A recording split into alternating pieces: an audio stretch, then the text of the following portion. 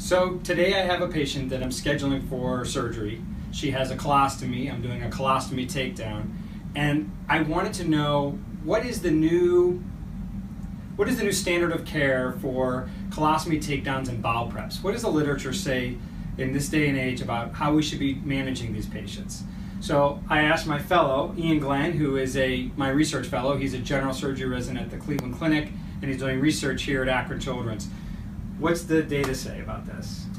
That's a good question, Todd. You know, if you look at the adult literature, there's pretty good prospective randomized trials that show that mechanical bowel prep alone in adults is doing them no good or probably harming them, and oral antibiotics that aren't absorbed are probably a good idea. In kids, there was two good studies. One study showed that mechanical bowel prep by itself led to a higher rate of infection and longer hospital stays in kids, and addition of antibiotics didn't make any difference. And then there was another study that showed that mechanical bowel prep and oral antibiotics didn't make a difference at all between the two groups. So I think for your patient, it probably makes sense to not do either one. Nothing. Correct. No mechanical, no oral antibiotics. Yep, exactly. All right, there you go.